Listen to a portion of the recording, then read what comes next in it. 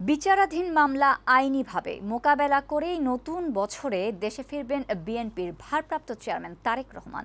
সোমবার রাজধানীর বনানীতে নিজ বাসায় সাংবাদিকদের এই প্রত্যাশার কথা জানান দলের স্থায়ী কমিটির সদস্য হাফিজ উদ্দিন আহমেদ।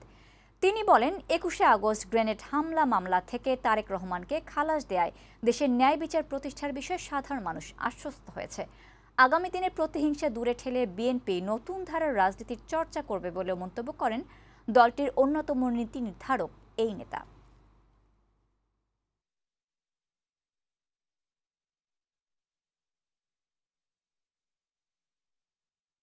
আমার জানা মতে এখনও চারটি মামলা রয়েছে।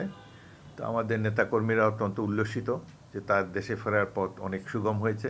আমরা আশা করি অতি অল্প সময়ের মধ্যে এই মামলাগুলো নিষ্পত্তি হলে তিনি আসবেন এবং অবশ্যই আগামী নির্বাচনের আগে তো তাকে আমরা চাই।